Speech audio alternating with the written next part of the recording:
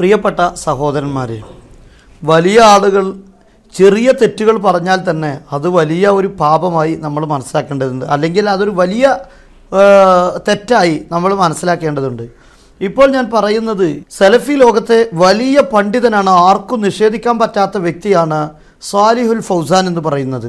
അദ്ദേഹത്തെ ലോകത്തെ മുഴുവൻ സെലഫികളും വലിയ പണ്ഡിതനും നേതാവുമായിട്ടാണ് കണക്കാക്കുന്നത്. പക്ഷേ അദ്ദേഹത്തിൻ്റെ അടുക്കൽ നിന്ന് സംഭവിച്ചു പോയ വലിയൊരു അബദ്ധമാണ് ഞാൻ നിങ്ങളോട് സൂചിപ്പിക്കുന്നത് ഒന്ന് കേട്ടു നോക്കൂ നിങ്ങൾ ما حكم تقبيل المصحف ووضعه على الجبين أو ضمه إلى الصدر كما يفعله بعض الإخوان من المسلمين ومن مختلف آه، الدول لا دليل على ذلك إنما فعله بعض الصحابة اجتهادا منه المصحف لا لا يقبل أنه يقبل أو يرفع على الرأس وما هذا من فعل العوام والجهال نعم نعم بارك الله فيكم നോക്കൂ നിങ്ങൾ അദ്ദേഹത്തോട് ഒരാൾ ചോദിക്കുന്നത് പരിശുദ്ധമായ മുസ്ഹഫ് ചുംബിക്കാൻ പാടുണ്ടോ എന്നാണ് അപ്പോൾ അദ്ദേഹത്തിന്റെ മറുപടി അതിന് യാതൊരു തെളിവുമില്ല മാത്രമല്ല ചില സ്വഹാബാക്കൾ ചെയ്തിട്ടുണ്ട് അത് തെളിവിന്റെ അടിസ്ഥാനത്തിലല്ല എന്ന് അദ്ദേഹം വലിയ വിഡിത്തം പറഞ്ഞിട്ടുണ്ട്. സ്വഹാബാക്കളെ സത്യം പറഞ്ഞാൽ അദ്ദേഹം നിസാരപ്പെടുത്തുകയാണ് ചെയ്തിട്ടുള്ളത്.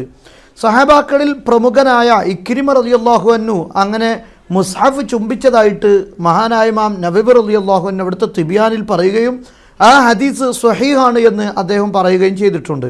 ഏതായിരുന്നാലും ഇദ്ദേഹം പറയുന്നു സ്വഹാബത്തിൽ ചില ആളുകൾ അങ്ങനെ ചെയ്തിട്ടുണ്ട്. പക്ഷേ അത് തെളിവില്ല. അവരുടെ ഇജ്തിഹാദാണ് എന്നാണ് പറഞ്ഞിട്ടുള്ളത്. അദ്ദേഹം മനസ്സിലാക്കി ഇജ്തിഹാദ് കൊണ്ട് പറയുക എന്ന് പറഞ്ഞാൽ തെളിവില്ലാതെ സംസാരിക്കുക എന്നാണ്. ഇതൊക്കെയാണ് അദ്ദേഹം ധരിച്ചു പോയത് എന്ന് അദ്ദേഹത്തിന്റെ സ്ഥാനം വെച്ച് നോക്കുമ്പോൾ നമുക്ക് പറയാനൊന്നും പറ്റുകയില്ല. പക്ഷേ വഹാബി എന്ന നിലയ്ക്ക് ഏത് വലിയ ആളുകളും വഹാബി തന്നെയാണല്ലോ. ഏതായിരുന്നാലും ഈ പറഞ്ഞത് സത്യസന്ധമാണോ? നിങ്ങൾ ആലോചിച്ച് നോക്കൂ. അള്ളാഹുവിന്റെ ഏത് ഷിയാറുകളെയും ബഹുമാനിക്കുന്നത് പുണ്യമായ കാര്യമാണ്. അപ്പോൾ ബഹുമാനമായി കണക്കാക്കപ്പെടുന്ന അതോടൊപ്പം ഷറയിൽ നിഷിദ്ധമാക്കാത്ത കാര്യങ്ങൾ ഏത് രൂപത്തിൽ അതിന് തലയും ചെയ്യുന്നതും അള്ളാഹുവിന്റെ അടുക്കൽ കൂലി കിട്ടുന്ന കാര്യമാണ് എന്ന കാര്യത്തിൽ നെയ്യത്തിനനുസരിച്ച് കൂലി ലഭിക്കുന്ന കാര്യമാണ്. നമ്മുടെ ഒരു ഖുർആാനിന് നമ്മൾ പൊതിഞ്ഞു കൊടുക്കുകയാണ്. അതിന് ചെട്ട കേട് വരും എന്ന് മനസ്സിലാക്കി അതിനെ നമ്മൾ പൊതിഞ്ഞു സൂക്ഷിക്കുകയാണ്. അപ്പോൾ പൊതിയുന്ന സമയത്ത് ഒരു മൗലവി വരാൻ ഏ പാടില്ല പൊതിയാൻ പാടില്ല. കാരണം എന്താ?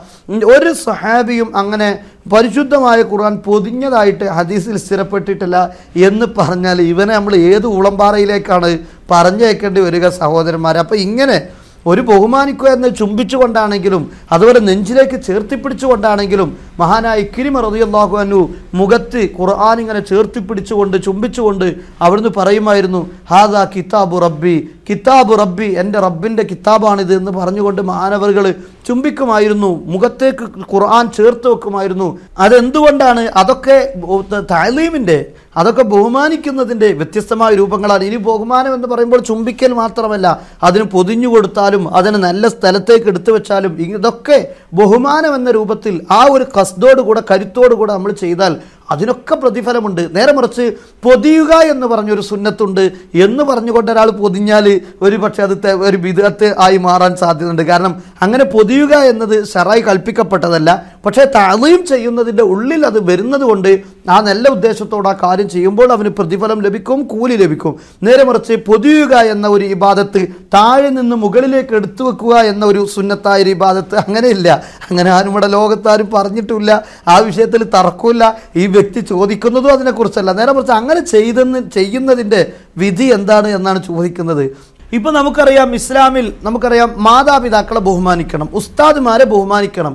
പക്ഷെ എങ്ങനെയാണ് ബഹുമാനിക്കേണ്ടത്? ഷെറായി നിഷിദ്ധമാക്കാത്ത ഏത് രൂപത്തിലും നമുക്ക് ബഹുമാനിക്കാൻ പറ്റും. അത് ബഹുമാനിക്കാൻ അവർ വരുന്ന സമയത്ത് എണീക്കൽ ബഹുമാനമാണ്. അത് വാഹനത്തിലായാലും എണീക്കൽ ബഹുമാനമാണ്. ഹദീസ് അതേ സമയത്ത് ഒരാൾ പറയുകയാണ് ഹദീസിൽ എവിടെയും വാഹനത്തിൽ നിന്ന് എണീറ്റ് നിന്നുകൊണ്ട് ബഹുമാനിച്ചതായി കാണാനില്ല. അതുകൊണ്ട് അത് തെറ്റാണ് എന്ന് പറയുന്നത്. എന്തുമാത്രം അപകടമാണ് സഹോദരന്മാരെ. അപ്പോൾ ഒരാൾ മുസാഫിനെ അതിനെ ആദരിക്കുന്നു ബഹുമാനിക്കുന്നു എന്ന അർത്ഥത്തിൽ ഒരാൾ ചുംബിക്കുകയാണെങ്കിൽ ആ ചുംബിച്ചതിന് തീർച്ചയായും അദ്ദേഹത്തിന്റെ ആ കരുത്തിന് അദ്ദേഹത്തിന് കൂലി ലഭിക്കും. മാത്രമല്ല ഈ ചെയ്തത് ഒരു നല്ല ഒരു പ്രവൃത്തിയാണ് എന്ന് പറയാൻ സാധിക്കും. അതേസമയത്ത് ഖുർആൻ ചുംബിക്കുക എന്നൊരു സുന്നത്തുണ്ട് അങ്ങനെ ഒരു ഷറായിൽ കൽപ്പിക്കപ്പെട്ട ഒരു സുന്നത്തുണ്ട് എന്ന് ഇവിടെ ആരും വിശദീകരിക്കുകയോ പറയുകയോ ചെയ്തിട്ടില്ല. ഇവിടെയുള്ള ചോദ്യം പരിശുദ്ധമായ ഖുർആൻ ചുംബിക്കുക എന്നൊരു സുന്നത്തുണ്ടോ എന്ന കാര്യമല്ല. പക്ഷേ നേരെ മറിച്ച് ചുംബിക്കുന്നത് തെറ്റാണോ? അല്ലെങ്കിൽ അത് പാടുണ്ടോ എന്ന ചോദ്യം ചോദിക്കുമ്പോൾ അദ്ദേഹം തെളിവില്ലെന്നും മാത്രമല്ല ജാഹിലീങ്ങൾ അജ്ഞരായ വിവരമില്ലാത്തവർ ചെയ്യുന്നതാണ് എന്നും അദ്ദേഹം പറഞ്ഞു. ബഹുമാനമായി നമ്മൾ കണക്കാക്കുന്ന ഏതൊരു കാര്യവും ആ വിഷയത്തെ പ്രത്യേകിച്ച് ശറയിൽ നിഷിദ്ധമായിട്ടോ നിരോധിക്കുകയോ ചെയ്യാത്ത കാര്യം ആകണമെന്നേ ഉള്ളൂ. അങ്ങനെ ഏത് രൂപത്തിൽ ഒരാൾ ബഹുമാനിച്ചാലും ആ ബഹുമാനിക്കുന്നതിന് അദ്ദേഹത്തിന് പ്രതിഫലമുണ്ട്. അദ്ദേഹത്തിന്റെ നീയത്തിനനുസരിച്ച് അദ്ദേഹത്തിന് പ്രതിഫലം ലഭിക്കും. നേരെ മറിച്ച് അതൊരു പ്രത്യേകമായ ഒരു ശൈലിയിലാകൽ ഷറായ് പഠിപ്പിക്കാത്തൊരു പ്രത്യേകമായ ഒരു ശൈലി സുന്നത്താണ് എന്ന് അന്ന് നമുക്ക് പറയാൻ പറ്റില്ല. ഉദാഹരണത്തിന് ചുംബിക്കുക എന്നത് പ്രത്യേകമായ സുന്നത്താണ് എന്ന് പറയേണ്ടതില്ല. നേരെ മറിച്ച് ചുംബിക്കുന്നതൊക്കെ ബഹുമാനത്തിന്റെ ഇനങ്ങളിൽ വരുന്നതാണ്. അതുകൊണ്ട് തന്നെ ആ ബഹുമാനിക്കുക എന്ന അർത്ഥത്തിൽ അദ്ദേഹത്തിന് പ്രതിഫലം ലഭിക്കും. ഈ കാര്യങ്ങളെ വേർതിരിച്ച് ഓരോ വിഷയങ്ങളെയും കൃത്യമായി വേർതിരിച്ച് മനസ്സിലാക്കാൻ ഇതുപോലുള്ള വലിയ പണ്ഡിതന്മാരാണെന്ന് പറഞ്ഞു സ്വഹാബാക്കൾ ചെയ്തത് തെളിവില്ലാതെയാണ്. അതുപോലെ തന്നെ അതൊക്കെ ജഹാലത്താണ് വിഡ്ഢിത്തരങ്ങളാണ് പൊട്ടത്തരങ്ങളണ്. എന്ന് വെറുതെ വിളിച്ചു പറയുക. ഇതൊക്കെ വഹാബികളുടെ വൻകിട പണ്ഡിതന്മാരാണെങ്കിൽ പിന്നെ നമ്മുടെ നാട്ടിലൊക്കെ ഇങ്ങനെ അലഞ്ഞു തിരിഞ്ഞ് നടക്കുന്ന. മൗലവിമാർ ജിന്നുണ്ടോ? ജിന്നില്ലേ? ജിന്നിനോട് ചോദിക്കാൻ പറ്റുമോ അതുപോലെ കുട്ടിച്ചൈത്താനെ വിളിച്ച് സഹായം ചോദിക്കാൻ പറ്റുമോ ജിന്നുകളെയും മലക്കുകളെയും വിളിച്ച് സഹായം ചോദിക്കാൻ പറ്റുമോ അതിന് കുഴപ്പമില്ല ശിർക്കാവുകയില്ല എന്ന് പറഞ്ഞ് വിസ്തം ജിന്നൂരികൾ ഒരു ഭാഗത്തും വേറൊരു ഭാഗത്ത് അങ്ങനെയൊക്കെ ചെയ്താൽ ഇസ്ലാമിൽ നിന്ന് പുറത്തു പോകും. അതുകൊണ്ട് വിസ്ഡം ജിന്നൂരികളൊക്കെ ഇസ്ലാമിൽ നിന്ന് പുറത്താണ് എന്ന് പറയുന്ന മറ്റൊരു വിഭാഗവും അങ്ങനെ ലോകത്തുള്ള മുഴുവൻ മുസ്ലിമീങ്ങളെയൊക്കെ മുസ്ലിക്കുകളും കാഫിറുകളും ആക്കുന്ന തെഖ്ഫീരിയത്ത് അങ്ങനെയുള്ള ഈ ഒരു വഹാബി പ്രസ്ഥാനം അവരുടെ നേതാക്കന്മാരിൽ നിന്ന് ഇതൊക്കെ തന്നെ നമുക്ക് കാണാൻ പറ്റൂ. ഇസ്ലാമിന് ഇതിനൊക്കെ അടിസ്ഥാനമുണ്ട്. ഇതിനൊക്കെ ഒരു മാനദണ്ഡമുണ്ട് ഈ വിഷയങ്ങളൊക്കെ പറയുന്നതിന്.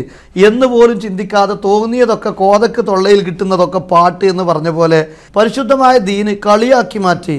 എന്തും തോന്നിയതൊക്കെ ചാനലുകളുടെയും മൈക്കിന്റെയും മുന്നിൽ വിളിച്ചു പറയാമെന്ന് ഇത്തരത്തിലുള്ള വൻകട വഹാബി പണ്ഡിതന്മാർ തന്നെ വിചാരിച്ചാൽ പിന്നെ നമ്മുടെ നാട്ടിലുള്ള സാധാരണ മൗലവിമാരുടെ കാര്യം പറയേണ്ടതില്ലല്ലോ. അപ്പോൾ ഇതൊക്കെയാണ് വഹാബി പ്രസ്ഥാനത്തിന്റെ കാര്യമെന്ന് നിങ്ങൾ മനസ്സിലാക്കുക. സാധാരണക്കാരായ ആളുകൾക്ക് പോലും ഈ വിഷയങ്ങളൊക്കെ ബോധ്യപ്പെട്ടിട്ടുണ്ടാകുമെന്നാണ് ഞാൻ മനസ്സിലാക്കുന്നത്. അതായത് ബഹുമാനിക്കുക എന്നത് ഒരു സർവസാധാരണ എല്ലാവരും ചെയ്യുന്ന ഒരു കാര്യമാണ്. ഈ ബഹുമാനിക്കുക എന്നത് അതാത് സന്ദർഭങ്ങളിൽ ചെയ്യുന്ന കാര്യങ്ങളാണ്. ഓരോ നാടുകൾക്കനുസരിച്ച് അത് വ്യത്യാസപ്പെടും. ചിലപ്പോൾ ഇവിടെ നമ്മൾ ബഹുമാനമായി കണക്കാക്കുന്നത് മറ്റൊരു നാട്ടിൽ ഒരു പക്ഷേ ബഹുമാനമാകണമെന്നില്ല. അപ്പോൾ ഇതിനനുസരിച്ച് അവരുടെ നല്ല മനസ്സിനനുസരിച്ച് ഏത് രൂപത്തിലും പരിശുദ്ധമായ ഖുർആാനിലെയും അതുപോലെ ഹദീസുകളാണെങ്കിലും ഇതിനെയൊക്കെ ബഹുമാനിക്കുന്നതിന് യാതൊരു വിരോധവുമില്ല. ഏതായാലും റസൂല്ലായി അലൈഹി വസല്ലം തങ്ങൾ പറഞ്ഞു അവ ഖിയാമത്ത് നാൾ വരുന്ന സമയത്ത് ജാഹിലിങ്ങളെ അവരെ പണ്ഡിതന്മാരായി അവരോധിക്കപ്പെടുകയും അവരോട് ചോദിക്കപ്പെടും സുയിൽ ഉഫ അഫ്തവ് അവരോട് ചോദിക്കും അവരതിന് ഫത്വ കൊടുക്കും. അങ്ങനെ ലല്ലു ഫ അല്ലു അവർ സ്വന്തം പേക്കും മറ്റുള്ള ആളുകളെ പേപ്പിക്കും ചെയ്യുമെന്ന് മഹാനായ നബി സല്ലല്ലാഹു അലൈഹി വസല്ലം തങ്ങൾ സുഹയ ഹദീസ് പറഞ്ഞിട്ടുണ്ട്. ഇതിനൊക്കെ അന്യർത്ഥമാക്കുന്നതാണ് നമ്മൾ ഈ കണ്ടുകൊണ്ടിരിക്കുന്നത്. ഏതായിരുന്നാലും ഇതൊക്കെ വമ്പന്മാർക്ക് തന്നെ ഇത്തരത്തിലുള്ള അടിമതരമൊക്കെ സംഭവിക്കുമ്പോൾ സാധാ ചോട്ടാ മൗലവിമാരുടെ കാര്യമൊന്നും നമ്മൾ പറയേണ്ടതില്ല. ഇത്തരം അബദ്ധങ്ങളിലും ഇത്തരം മൗലികമാരെയൊക്കെ പിന്തുടർന്ന് നമ്മുടെ ഈമാൻ നഷ്ടപ്പെടുത്തരുതേ എന്ന് വിനീതമായി ഓർമ്മപ്പെടുത്തുന്നു. വീണ്ടും കാണാം. അസ്സാം വലൈക്കും വറഹമത്തല്ലാഹി വാബർക്കാത്തു